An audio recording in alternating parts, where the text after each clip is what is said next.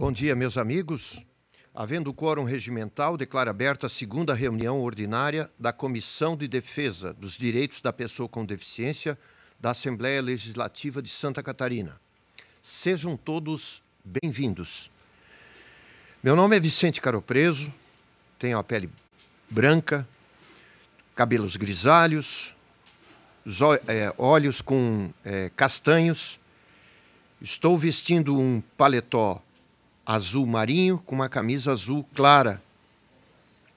Tenho 1,79 de altura e eu estou numa das salas de comissões da Assembleia Legislativa. Coloco em votação a ata da primeira reunião ordinária realizada no dia 22 de fevereiro de 2022, já distribuída previamente aos senhores deputados, membros dessa comissão. Os deputados que aprovarem permaneçam como estão. Aprovada a ata. Ordem do dia. Discussão e votação de requerimentos.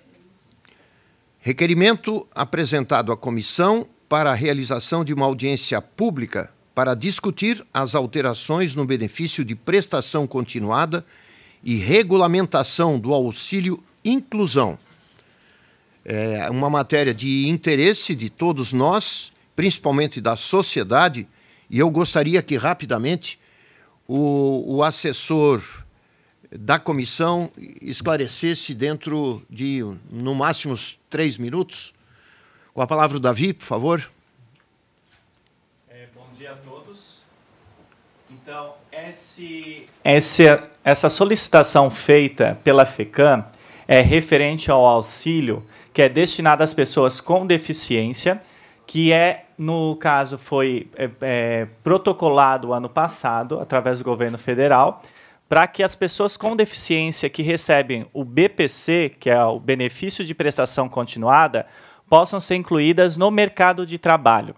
Então, é uma forma que o governo encontrou para fazer com que a inserção dessas pessoas se façam efetivamente. Mas o que nós, é, enquanto comissão e a FECAM, é, temos a preocupação, tanto dentro do estado de Santa Catarina como é, no nosso território brasileiro, é de como isso vai ser desenvolvido. É um valor de 606 reais que vai ser disponibilizado para todas as pessoas com deficiência que vão ser inseridas no mercado de trabalho, para que elas é, não tenham o receio de ir para o mercado de trabalho e perder este benefício de prestação continuada. Então, o governo procurou, de uma forma, dar esse auxílio.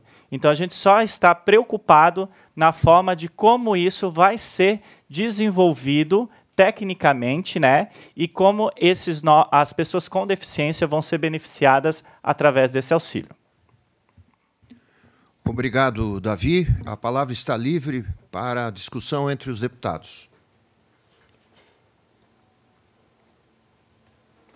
Eu acho importante que é, essas novidades que dizem respeito ao dia a dia das pessoas com deficiência, elas sejam melhor esclarecidas. Então, a FECAM é, nos solicitou para que fizéssemos essa audiência pública e, portanto, acho que é extremamente importante que se leve essa discussão aberta às pessoas, às entidades, enfim.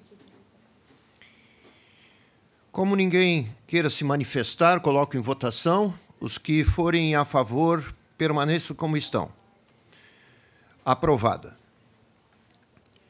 Nós temos apenas a discussão e votação de um parecer, um parecer muito solicitado pela, é, pelo, pelo deputado Titon, o PL 0013 de 2022, altera o nexo único da Lei 18.278 de 2021, que consolida os atos normativos que concedem o título de utilidade pública estadual no âmbito do Estado de Santa Catarina, para o fim de declarar de utilidade pública estadual a Associação dos Pais e Amigos dos Autistas de Capinzal, AMA. Vou ler o voto apenas.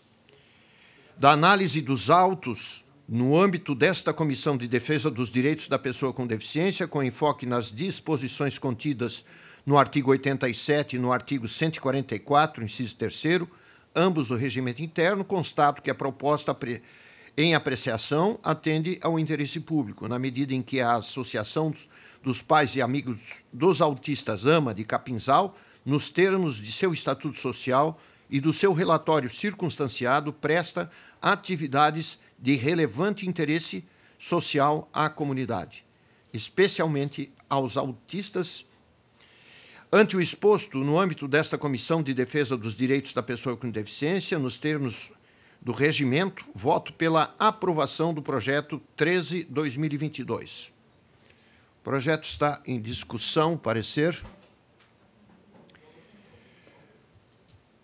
Antes de colocar em, votação final, só queria dar um abraço a todos os amigos da AMA. É uma AMA de Capinzal que talvez muitos dos deputados já visitaram, pujante, inovadora e realmente dá conta de vários municípios lá da, da região.